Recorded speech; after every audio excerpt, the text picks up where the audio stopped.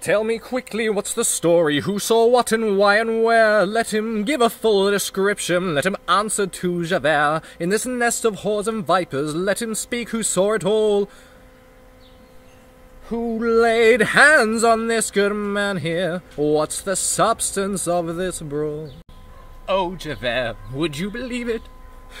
I was walking through the park when this prostitute attacked me. You can see she left her mark. She will answer for her actions when you make a full report. You can rest assured, monsieur, she will answer to the court. There's a child who sorely needs me. Please, monsieur, she's but that high. Holy God, is there no mercy? If I go to jail, she'll die. I have heard such protestations every day for twenty years. There'll be no more explanations. Save your breath and save your tears.